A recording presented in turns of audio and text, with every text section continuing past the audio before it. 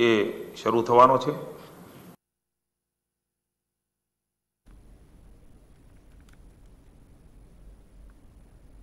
ગાંધીનગરમાં આરોગ્ય મંત્રી ઋષિકેશ પટેલના હસ્તે અર્બન હેલ્થ સેન્ટરનો શુભારંભ કરવામાં આવ્યો હતો. તેમજ ન્યુમોકોકલ કોન્જ્યુગેટ વેક્સિનનો પણ શુભારંભ કરવામાં આવ્યો હતો.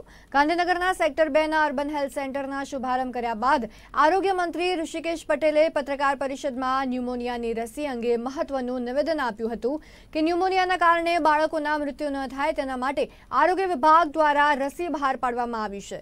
રાજ્યમાં બાળકો માટે સાર્વત્રિક રસીકરણનો કાર્યક્રમ યોજવામાં આવશે. તો આ રસીથી ન્યુમોનિયા અને મગજના તાવથી બચાવી શકાશે.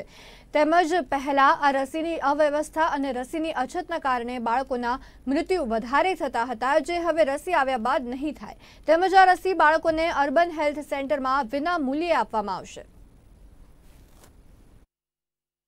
કે જેમાં શ્વાસની એટલે ઓક્સિજનની જે કમી થાય અને એ જે ન્યુમોનિયા થાય એ નાના બાળકોમાં પાંચ વર્ષથી ખૂબ મોટી સંખ્યામાં.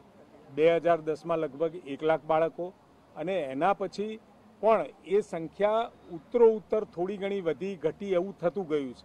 પરંતુ સમગ્ર દેશમાં એવરેજ નેવું હજારથી એક લાખ બાળકો આ રોગથી મરણ પામતા હોય એવું જાણવામાં આવ્યું હતું અને એના કારણે રાજ્યના બીજા દેશના બીજા રાજ્યોમાં પણ આ રસીનો આપવામાં આવતી હતી. આપણા રાજ્યની અંદર આજથી આપણે આ શરૂઆત કરીએ છીએ.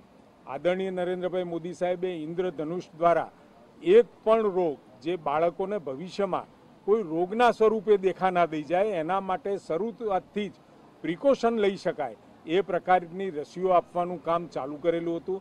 એમાં એક આ વધારાનું છોગું છે કે જેથી કરી આવતા સમયમાં પાંચ વર્ષ સુધી બાળકને શ્વાસને લગતો કોઈ પણ પ્રકારનો ન્યુમોનિયા ના થાય, એના માટેની આ રસી છે.